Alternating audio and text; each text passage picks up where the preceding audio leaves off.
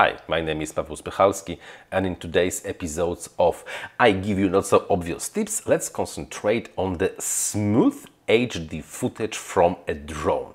Imagine you saw some video, for example, from Schizo. Oh, I want to have the smooth footage like that. You put the same hardware, like the same props, motor, some magical tune, you go flying and hmm, it doesn't look like that, hmm, right? Or for example, you got yourself a 7 incher, put your GoPro on it and hmm, it's shaky. What's happening? What, what's wrong?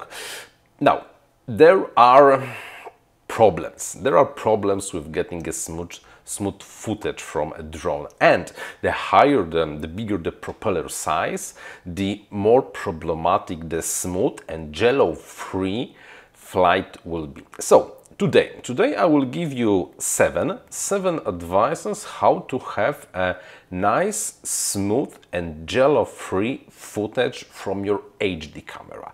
HD camera, because FPV cameras are usually very jello resistant. You, if, if, if you got at least slight jello or shakiness on your FPV feed, that means that HD footage will be total absolute crap. But even if the FPV footage is quite smooth, the uh, the HD footage might still be not so smooth and affected with jello and, and shaky. And so, so today, seven advices how to get a smooth HD footage from your drone. Advice number one, deframe.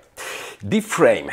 If you want to use bigger propellers, like for example for the 7 inches, you have to remember that the higher the propeller size, the more forces from the imbalanced propeller will be applied to the arms and to the frame. And the longer the arm, the more affected by the resonance the frame will be. It will be vibrating in the air. So it has to be very, very, very stiff. It's not about if it will break during the crash. No, no, no, no, no, no, no. It's if it will be able to go into resonance in the frequencies that will affect your footage and make the whole flight not smooth. So, rule of the thumb. For the 5 inch props and 6 inch props as well, the 4 millimeter arms are fine. They usually be usually should be stiff enough to have really a nice stiff and not vibrating, not resonating frame. But if you go from 7 inches higher, it gets complicated. The minimum thickness of the arms of the 7 inch quad is around 6 millimeters. Don't even buy some cheap Chinesium with four, three. No, no, no, no. It will not work. It will just work as a giant vibrator. You don't want to fly this. If you go from, let's say, eight above, probably the carbon fiber plate cut into the shape of the arm is already not the very good idea because you would have to use 8 millimeters. This will be extremely heavy, extremely um, expensive and really hard to get. So up to 7, uh, carb full carbon is fine and with 7 at least 6 millimeters uh, thick arms. Above that really carbon tubes or aluminium or even wood will be better than really carbon. This is very important. Of course, the obvious tip that the frame cannot be like fractured, cannot be like bending too much. It has to be really, really stiff to really be able to smoothly fly through the air. Advice number two is props and motors. Yes, those two elements have to be combined because you cannot just put any propeller or on any motor because it will just not work.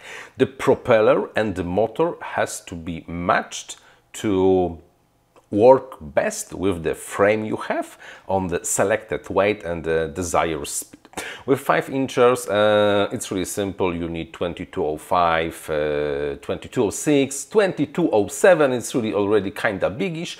Maybe 2306 motors in the kV range for, let's say, from 2300 to 2400, 500 kV on 4S. On 6S, of course, less kV, 1700, and will it will be fine.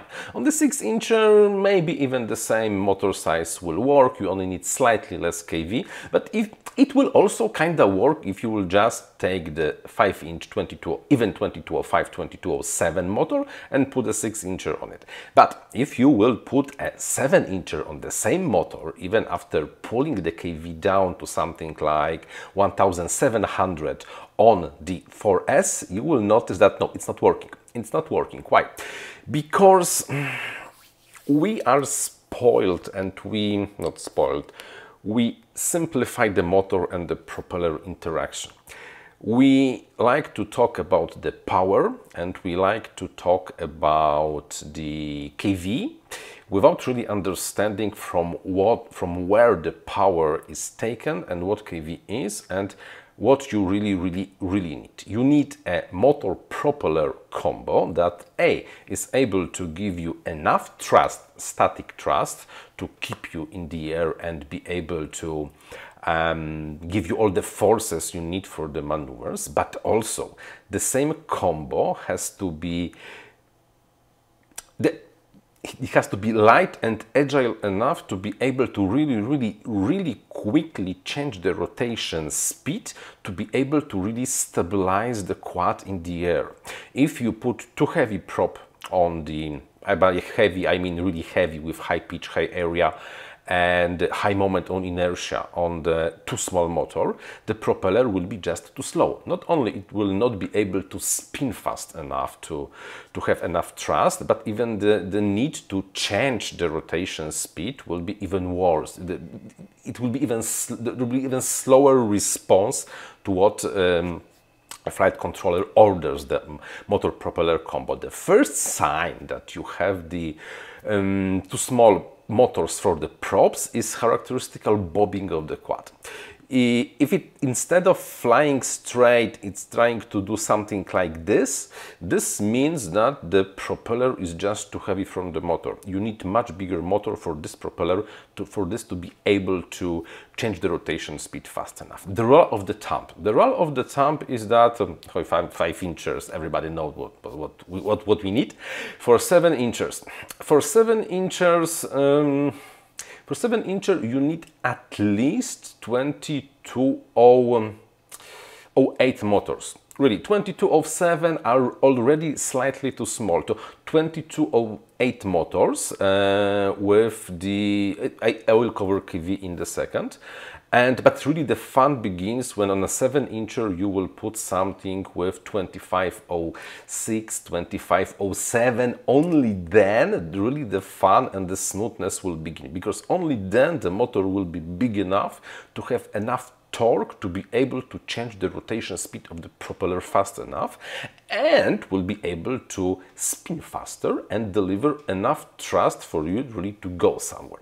So forget about 2207, 2205, 22, even 2306 are too small.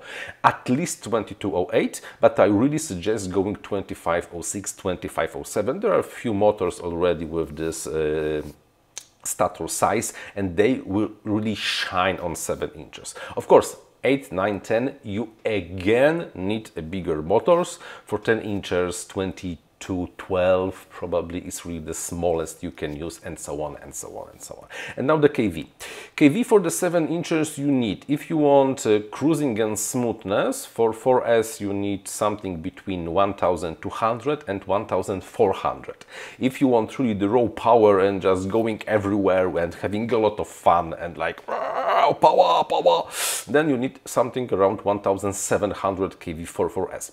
For 6S, of course, you should divide the kV with the from the proportions, compute the lower kV, but still you need kind of big propellers and smooth, uh, big motors and smooth propellers with my personal best, uh, personal choice of the DAL T7056C those big cyclones they are really kind of kind of kind of nice in the air. I like them very much but everything has to match if you have too heavy propeller too big propeller for the motor it will not fly smooth and uh, and yeah keeping ourselves in the motor propellers if you want smooth flights, you have to replace propellers very, very often. For the racing on the 5 inches not, does not really matter that much, but on the 7 inches, if you really want to have smooth flight, you have to replace propellers. You can, of course, train on slightly bended and uh, chipped uh, props or slightly damaged motors, but if you want to have smooth HD, you have to put a new set of props on the quad immediately before because even one crash will bend it and you can yeah you can straighten this. It will be more or less fine to just fly but the amount of vibration will be so high that no no no no no no the HD footage will just be too shaky. So unfortunately before recording HD really in good quality smooth HD put a new props on her. She will say thank you no matter what some kind of famous persons on the internet say or write somewhere, yes, unfortunately, you still have to tune your PIDs and filter to have a nice smooth footage. Why? Because, yes, I know there are some that say, no, you should put the Betaflight on it and it will fly great. No, just install new Betaflight, it will fly great. Maybe, maybe, but really the tune is all about the forces and the moments of, of inertia and the vibrations and that are really unique to the machine itself. In 5 inches it's really very simple. Most, most of them are really maybe different frame, but they are kind of similar. The all weight more or less the same, use the same, more or less the same propellers, more same the size of the motors and can deliver more or less the same uh, power, the same forces. So default tune, it will be fine. It will be absolutely, absolutely fine. But the bigger with the propeller size you get, you have to tune both the filters and you have to tune the PIDs because without that, no. No, no, no, no, no, no way you can get a nice smooth footage. Example, I have two 7-inch quads. One is equipped with the, one is more or less towards the cinematic flight with 1250 motors and 2506, really a lot of torque, a lot of torque. And the second one is more for the freestyle. And the required PIDs for them are like 50% different. 50% different. More or less the same sizes, but I used uh, different motors, the same propellers even, and the quads weight almost almost the no, okay the, the the lower kV is slightly heavier but really they need completely different tune because of what they are designed to do so yes you have to tune you have to either put the gains up or down watch some people on the internet doing tutorials how to tune your quads because yes you your 7 incher or 8 incher or 9 incher will not fly well on the default values designed for the 5 inch quad because the propeller is 4 times bigger. So how the fuck is this supposed to work good on your new design? Forget about smooth flight during the high wind. Mm -mm, it's not working like that. Unfortunately, if you can fly just race or have fun around the trees, even on the highest wind, the quad will not take care too much about, about the wind itself. But if you want the smooth flight, you need calm weather without wind, because the wind creates turbulences, because the drag is uh, smaller closer to the ground, the wind really creates a turbulence. And if you're flying somewhere near the trees, the wind will also interact with the trees, with the forest, with everything you have around you and create more and more tur turbulences. So if there is even like um, a nice breeze that's cooling you up, it will, it might be visible on the HD footage. To have a nice smooth, wait for the conditions when there is no wind. You will notice the difference. Really, it, there is a huge difference in the smoothness between calm weather and the windy weather. Just try it for yourself. Weather is weather, right? But what about time of the day? You know, maybe you maybe heard somewhere about the golden hour. It's more or less the hour just uh, before and after the sunset and around sunset when there are best um, conditions to take photographs. And because this shooting the HD footage is really kind of photography, the same rules apply. If you will be flying uh, in the direct sun around 12 a.m. is around 1 p.m. when the sun is the highest. Forget about uh, having a nice, smooth and good, amazing looking uh, HD footage. Even if this will be smooth, the colors will be washed, there will be too much contrast and everything will look bleh. This is why if you really like have some super nice, uh, let's say freestyle uh, set that you want to present to someone in HD, take yourself uh, wait until sunset or sunrise if you are hard enough to wake up uh, for the sunrise. And record the material over there. Not only the light will be softer and will just look better but because there will be slightly darker the camera will have to use slightly longer exposure time and it will be really it will be really nicely visible in the HD footage. So forget about nice smooth flight in the middle of the day. Yes, you can practice then, but if you really want to record something and impress someone with, whoa, what an amazing flight you had, do it either early in the morning or relatively late in the evening when there is still bright enough, but sun is slow, maybe even uh, behind the horizon. It is, it is really visible kind of obvious, right? You need a good camera to have a good footage. Um, it's really nice to have a camera in which you can choose the exposure time because the longer the exposure time, the more smoothness, the um, how to say it, blurred, not really blurred, but really smooth uh, movement uh, you will be able to record.